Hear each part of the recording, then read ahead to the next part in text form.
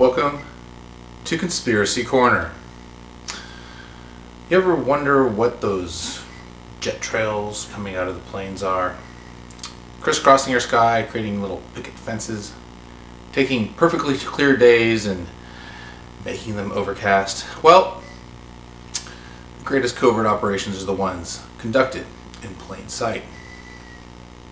Yes, those trails are a sunscreen that are being sprayed to combat global warming.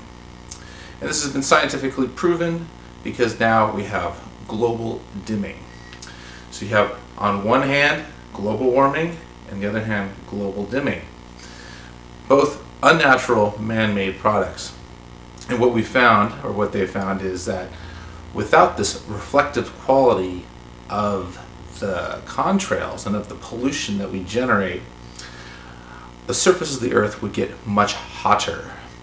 And they underestimated the effect of carbon dioxide on the effects of global warming. So if we eliminate all the pollution and all the jet trails in the air, we still may not stave off global warming.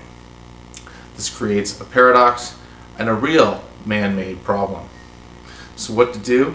Well, to be observant and to understand that we need to act immediately in stemming the carbon dioxide man-made based gases that we produce. Because otherwise the spraying will continue and global warming will be accelerated and will happen within the next century if not in the next 20 years. So keep your eyes open and think about what actions you can take